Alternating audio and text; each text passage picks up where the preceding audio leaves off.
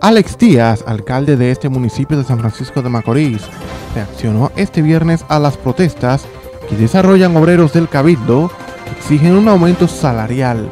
Al ser cuestionado calificó como justo el reclamo y reitera que no hay dinero ni forma de aumentar salarios en este momento. Lo importante es que tenemos acá una serie de obreros los cuales piden su aumento Ustedes saben que el Estado Dominicano hizo un anuncio, no nos ha mandado el dinero y es algo que ellos tienen su justa razón. Lamentablemente eh, no hay dinero en el ayuntamiento y ellos sencillamente están en su reclamo natural.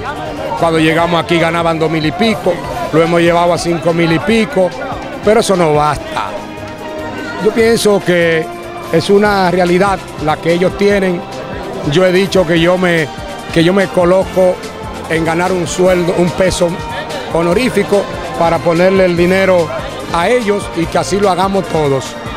Porque como no, como no tenemos, como no tenemos forma, tenemos que sacrificarnos y yo quiero que ellos vean que yo lo quiero sacrificarme y debemos hacerlo todo y si no buscar la manera en el tiempo y en el espacio para garantizarle a ellos una política, una política que pueda ayudar.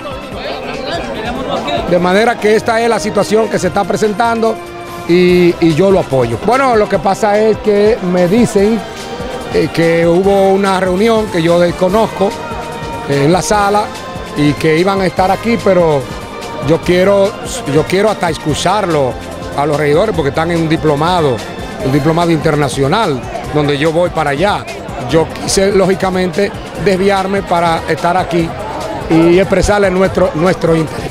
Para NTN, su noticiero regional, Jesús Daniel Villalona.